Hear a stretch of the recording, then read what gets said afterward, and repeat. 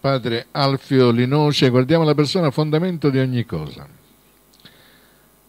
È disabilità ma con le persone con disabilità. È stato un impegno, è stata una scommessa, dobbiamo dire che è stato un ottimo successo. Nelle parole del Presidente della Fondazione Sant'Angela Medici, Padre Alfio Linoce, il senso dell'iniziativa promossa dalla Fondazione nella sua sede di via Adamelia a Siracusa che ha coinvolto gli ospiti di tutti i centri di riabilitazione della Fondazione tra Siracusa e Canicattini Bagni.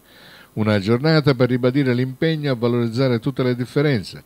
La Fondazione Sant'Angela Merici di Siracusa ha celebrato così la giornata mondiale delle persone con disabilità indetta dalle Nazioni Unite dal 1981 per aumentare la consapevolezza verso la comprensione dei problemi connessi alla disabilità e l'impegno per garantire la dignità, i diritti e il benessere delle persone con disabilità. Obiettivo della giornata sin dalla sua istituzione da parte dell'ONU, ha detto Don Alfio, è ribadire il concetto di dignità della persona, di diritti e di benessere. L'obiettivo di questa giornata è stato un incontro creativo e generativo di scoperta nel suono, nel coinvolgimento, nel ritmo della capacità di stare insieme e partecipare come unica famiglia dall'altra all'apprendimento.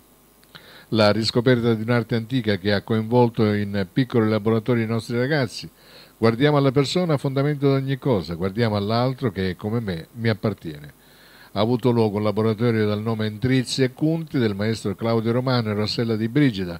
Il laboratorio ha dato vita a una narrazione con utilizzo di tamburi e a un laboratorio di intreccio per la realizzazione dei cannisci. Cantastorie ha narrato di usi e costumi della nostra terra attraverso letture e canzoni in lingua dialettale. Coordinatore dell'iniziativa è stato Gaetano Migliore, pedagogista clinico della Fondazione. C'è un passaggio che mi ha particolarmente colpito quando i ragazzi hanno detto che a loro piace sognare. I limiti esistono soltanto nell'animo di chi è a corto di sogni. A noi piace sognare e immaginare un mondo inclusivo dove tutte le distanze vengono annullate. Il nostro operato cerca di migliorare la qualità di vita di questi ragazzi perché è un lavoro dove devi mettere, oltre alla professionalità, amore e grande passione, ingredienti importanti per il conseguimento di tanti obiettivi per i nostri ragazzi.